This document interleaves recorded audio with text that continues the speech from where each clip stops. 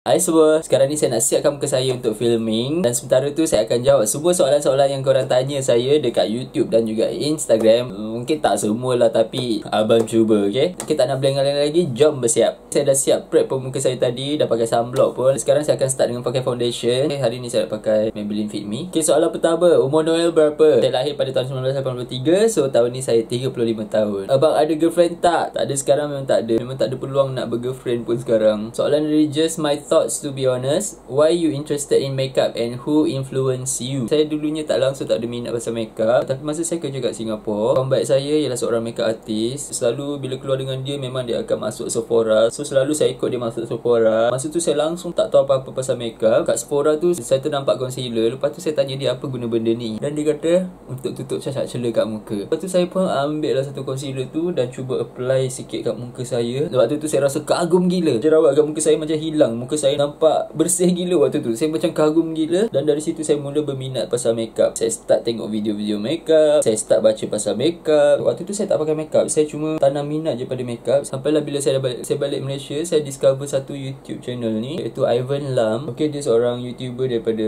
US Dia orang Malaysia. Dia orang Malaysia tapi dia sekarang menetap kat US Saya tengok video-video dia Tiba-tiba saya terasa macam nak cuba pakai makeup pula. Lepas tu saya pun start dari situlah. Umur dan asal mana Saya berasal dari Sabah. Saya lahir dan membesar kat sana sampailah saya. Di kata empat baru saya pindah ke KL mak saya orang Johor ayah saya orang Terengganu. Tapi bila orang tanya saya orang mana saya cakap saya orang Sabah. Sebab saya memang membesar kat Sabah dan saya langsung tak tahu apa-apa pasal Johor ataupun Terengganu. So saya takkan mengaku saya orang Terengganu walaupun ayah saya orang Terengganu. Saya suka sangat pakai foundation Fit Me ni murah pun murah dan ni kod 228 memang sesuai sangat dengan muka saya. Nampak macam saya tak pakai apa-apa pun. Saya banyak beli foundation yang mahal-mahal dari Sephora tapi last-last bila saya keluar ada event ke apa saya akan pakai Fit Me juga. Okay, lagi soalan dia. Do you like Korean or Japanese makeup? Saya suka-suka. Saya memang peminat Jepun okay? Saya memang suka gila Jepun dari kecil. Saya memang ada minat pada Jepun. Kalau ada duit Ada kelapangan Memang saya akan pergi ke Jepun Walaupun saya dah pergi berkali-kali. Tapi saya kena be honest kat sini Antara Japanese dengan Korean makeup Saya rasa makeup Korean lagi cantik. Saya lebih suka makeup orang Korea. Are you hoping for million of subscribers? Oh ya Allah. Kalau ada rezeki dapat 1 million subscriber tu Memang bersyukur sangat lah Tipu lah kalau cakap tak nak subscriber banyak-banyak kan. Tapi sebab kat Malaysia ni Susah sikit nak dapat subscriber banyak macam tu Kalau kat US ke apa senang. Sebab population lagi banyak. Lagi kalau buat channel dalam bahasa English Senang sikit nak dapat million subscriber. Tapi sebab saya buat bahasa Melayu So saya rasa agak susah lah nak dapat 1 million subscriber tu. Kecuali kalau saya start upload video-video dalam bahasa English. Abang can speak English you know. My English is very good. I just uh, don't want to speak English. I can speak English if I want to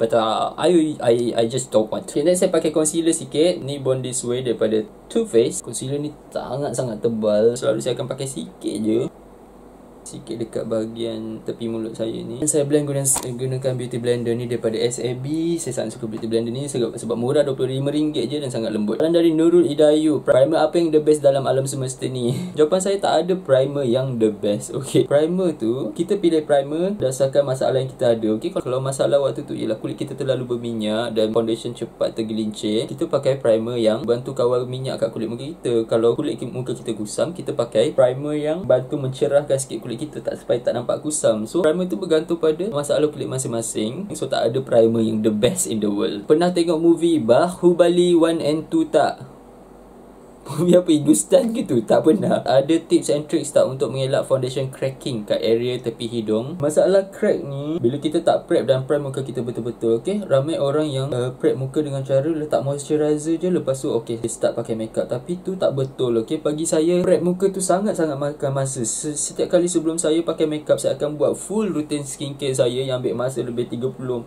minit. Lepas tu baru saya yakin Letak makeup kat muka saya. Bila dah prep muka betul-betul Pakai primer yang sesuai Foundation foundation crack tu tak terjadi. Memang tak pernah terjadi. Kalau kita prep dan prime muka kita betul-betul Okay sekarang ni banyak orang yang prep muka pakai moisturizer je. Dia ingat pakai moisturizer je Pakai serum je Lepas tu dia letak makeup dah okay Itu bukan prep okay Tu memang tak cukup untuk prep muka korang okay Dan nak prep muka betul-betul Memang kena buat full skincare routine korang Sebelum pakai makeup. Set sedikit foundation tu dengan bedak. Ni daripada Laura Mercier My favourite Macam mana dengan kandungan paraben yang ada dalam skincare and product makeup? Paraben tu ialah sejenis bahan pengawet Dan paraben dalam kuantiti yang ditetapkan ditetapkan yang dalam sukatan yang ditetapkan tak berbahaya pada muka kita. Banyak produk dalam pasaran even yang ada dekat Watson atau Sephora mengandungi paraben dalam sukatan yang betul. Dia jadi masalah jadi berbahaya tu bila paraben yang digunakan tu dalam sukatan yang salah. Itu yang buatkan dia jadi tak selamat. So bagi saya tak ada masalah. Barang-barang yang saya pakai pun banyak je yang ada paraben. Next saya akan pakai sedikit bronzer ni daripada Hourglass. Okay my favourite ni dalam shade luminous bronze light. Next question. Apa pengalaman paling teruk yang pernah terjadi pada muka you saya tak ingat bila masa saya umur dalam 20-an saya ada sedikit jangkitan dekat mulut saya ni. Tak tahulah itu yang dia orang panggil herpes ke tak tapi saya tak tahu dia ada jangkitan sedikit dekat tepi mulut saya ni dia jadi macam uh, keluar gelembung-gelembung cecair. Sangat-sangat gatal. Saya tak tahu apa nak buat. Saya selalu cuba picit cuba picit supaya benda tu hilang daripada muka saya. Tapi apa yang jadi waktu tu ya Allah benda tu jadi makin teruk. Makin teruk gila makin bertambah. Masa tu saya tak berapa peduli sangat pasal skincare. Ya Allah lah saya biarkan je. Lama-lama dia jadi baik tapi dia tinggalkan parut. Itulah parut yang korang nampak kat tepi mulut saya ni yang kehitaman dekat tepi mulut saya ni macam ni korang nampak tak? Itu semua disebabkan daripada benda tu. Dan saya rasa menyesal sangat sebab sampai sekarang tak kisahlah apa saya buat kat muka saya. Untuk cuba hilangkan kehitaman tu dia memang tak akan hilang. Masalah jerawat tu saya tak ada. Memang saya tak ada masalah jerawat dari dulu. Sekali-sekali kalau saya tak cukup tidur ke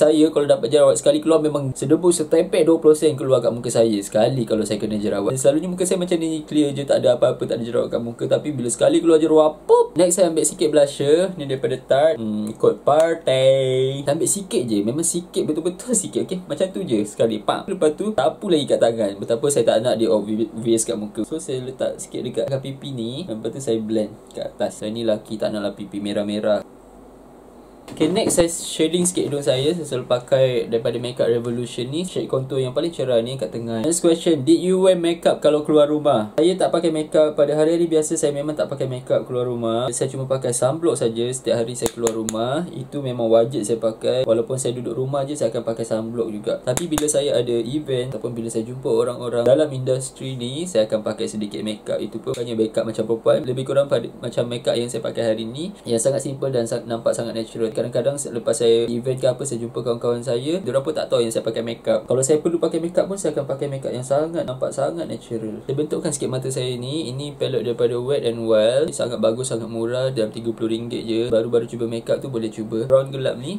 untuk letak kat crease saya saja untuk nampakkan bentuk crease saya tu. Definisi cantik pada you apa?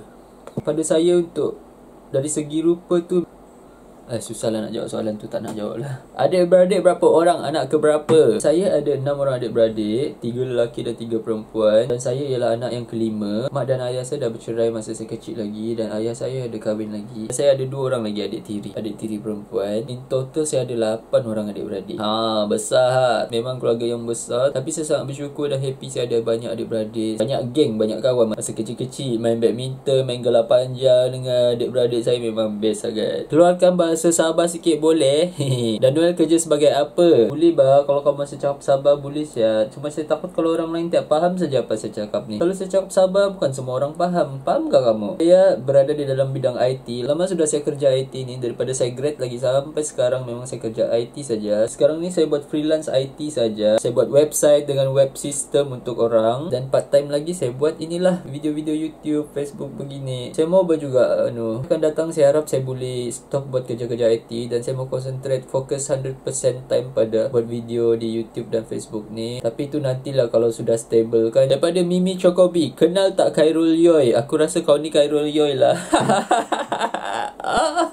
ramai yang komen saya ramai yang message saya DM saya yang kata saya ni Khairul Yoy. Saya bukan Khairul Yoy ok saya kenal Khairul Yoy tu siapa dan saya sokong benda-benda yang dia buat. Pada saya dia dah bantu banyak pengguna kat luar sana ok pengguna terutama pengguna pengguna Malaysia ni yang pemalas nak mampus dia banyak dah tolong ok ramai yang kata dia tu suka jatuhkan bisnes Melayu lah tutup perut nasi orang lah. Pada saya itu bukan benda yang dia buat. Dia cuma educate pengguna-pengguna kat Malaysia ni sebab pengguna kat Malaysia ni malas betul-betul pemalas. Orang kat Malaysia ni memang suka sangat marketing-marketing yang over menjanjikan bulan bintang sampai kerbau pun boleh terbang itu itu yang orang Melayu suka tengok. Dan sebab itulah orang Melayu selalu terpedaya selalu tertipu. Sebab itulah sekarang tiba-tiba founder Melayu tumbuh macam cendawan. Orang sedar kelemahan orang-orang Melayu ni senang terpedaya senang tertipu. Sebab orang malas membaca malas mencari info. Lepas tu orang ambil kesempatan ni untuk jual produk-produk yang kualiti tak berapa bagus. Sebab orang tahu orang Melayu akan beli. Apa yang Karoyo buat? Dia tu bagi kesedaran sikit pada orang-orang Melayu. Bagi saya apa yang dia buat tu ialah benda yang baik. Dan saya sokong apa yang dia buat Cuma mungkin pada kebanyakan orang bahasa dia tu kasar sikit tapi semua orang ada cara masing-masing kan. Dah cakap baik-baik orang Melayu ni tak nak dengar so cakaplah dengan cara kasar. Ha, bila cakap kasar macam tu baru banyak orang bagi perhatian. Okay, next saya akan buat sikit kening saya untuk isi ruang kosong je bagi nampak cantik sikit. Faiz Sabah area mana? Saya dari KK. Saya duduk dekat Taman Pantai Lok Kawi, Sabindo. Kenal tak? Daripada Nurul Atika. Noel straight ke Bangkok? Hihi, kalau straight perempuan idaman suka yang macam mana? Noel ni orang jenis yang macam mana ya? Hahaha.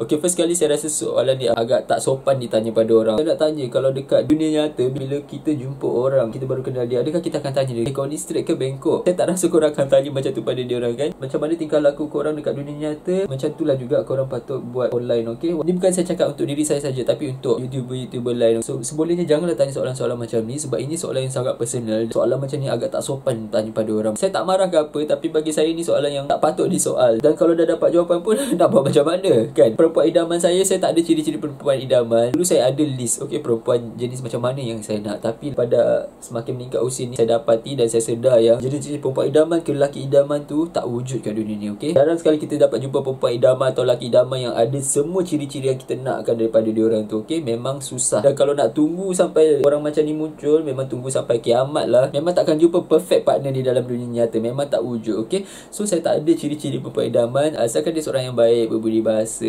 okey faham dengan saya dan kerja saya. Tak kisahlah dia berbeza karakter dengan saya ke dia berbeza kegemaran dia berbeza dengan saya ke tak sama ke apa-apa itu benda benda macam tu saya tak kisah. Sebab bagi saya semua tu boleh di adjust so, hidup bersama ni perlu perlukan banyak toleransi dan kompromi. Tapi saya suka perempuan yang ada sense of humor yang kelakar sikit macam tu okay? sebab saya ni boring. Last sekali kat muka saya saya akan ambil ni ambient lighting powder daripada Hourglass ni dalam shade dim light ini ialah sejenis finishing powder dan saya memang pakai powder ni setiap kali last-last bagi finishing sangat cantik. Glowy sedikit glowy finishing pada muka saya. Saya cuma apply dekat bahagian tengah muka saya ni. Noel ni orangnya jenis yang macam mana ya kalau nak tahu saya ni sebenarnya seorang introvert okey saya jenis yang tak suka bergaul dengan saya sebenarnya jenis yang tak suka bergaul dengan orang. Saya tak ramai kawan. Tapi kawan-kawan yang saya ada semuanya kawan-kawan yang berkualiti yang betul-betul memahami saya. Kawan-kawan baik saya semua ialah kawan-kawan yang saya dah kenal daripada sekolah daripada uni. Sangat susah untuk saya berkawan dengan orang-orang baru. Saya tak suka pergi gathering saya tak suka pergi party saya tak suka pergi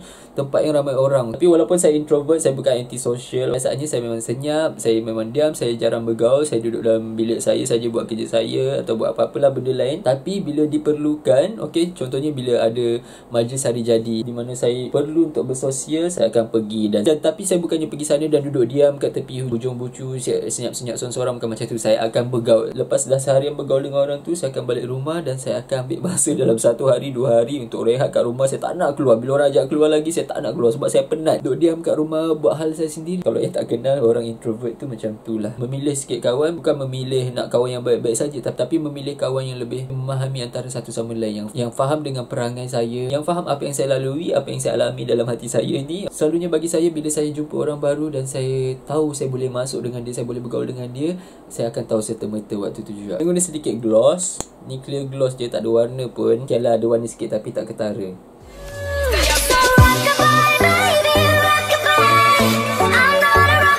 itu dia korang saya dah siapkan muka saya Dan sekarang saya dah ready untuk film video. Apa pendapat korang dengan muka saya? Nampak over tak? Saya cuba buat muka saya nampak as natural as possible. Saya, Sebab saya tak nak lah Nyiratkan orang-orang kat luar sana Terutamanya lelaki yang tengok muka saya. Lepas tu dia macam Ya yeah, apa sebab kau pakai makeup doh Jadi saya cuma nak kulit muka saya nampak cantik sikit saja Untuk buat video. Sebab orang suka tengok benda-benda yang cantik. Okay itu satu fakta. Kalau saya buat video dengan muka saya yang selebek Saya boleh confirm tak ramai sangat orang yang nak tengok. Okay sebab tu saya Selalu sebelum saya buat video Saya akan siapkan muka saya sikit. Bagi nampak cantik sikit saja. Bukan tujuan nak melawar ke apa okey so okey saya harap korang enjoy video hari ni walaupun tak ada apa-apa sangat. Saya harap saya menjawab sikit soalan-soalan yang korang tertanya-tanya selama ni. Lain kali saya akan buat lagi. Saya tahu saya tak dapat nak jawab semua soalan tu hari ni. Terlalu banyak soalan saya tak dapat jawab semua dalam satu video okey kalau korang suka video Q&A macam ni jangan lupa bagi tahu saya kat ruangan komen. Kalau tak saya tak tahu apa yang korang suka okey so jumpa lagi dalam video akan datang. Terima kasih semua kerana menonton.